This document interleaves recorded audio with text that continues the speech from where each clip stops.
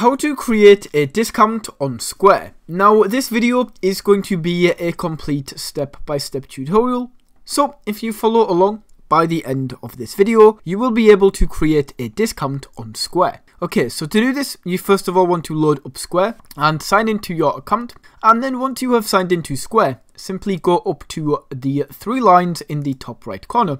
And then from this side menu, you want to click on items. Now this will bring up the item area and what we can do is from this menu on the left hand side now is go down to discount and then it says your discounts la la la la la click on create a discount right here and let's just call this whoopsie and let's just call this Christmas, even though it is July right now. Uh, we'll set this as a 30% off. Um, discount rules, so we can set this if it's to a specific time or anything like that. Maximum discount value. And then once this is done, guys, we can literally just hit save. And we can see that that Christmas discount has just been created. And that is how you can create discounts on Square.